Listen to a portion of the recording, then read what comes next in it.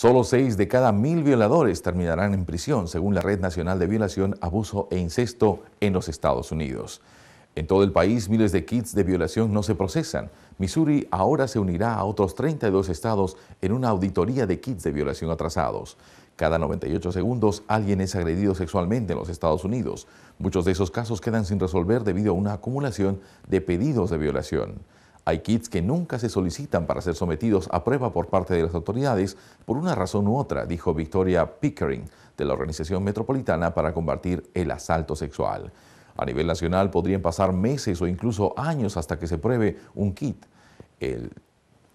Ella dijo que ese también es el caso en el estado de Missouri. En el 2016, el estado de Kansas pasó por una auditoría, descubrieron que 2.200 kits no habían sido procesados. Ahora esos kits están siendo probados. La investigación ayudará a determinar el alcance del problema, las agencias responsables y las formas en que el Estado puede implementar el cambio para finalmente hacer justicia.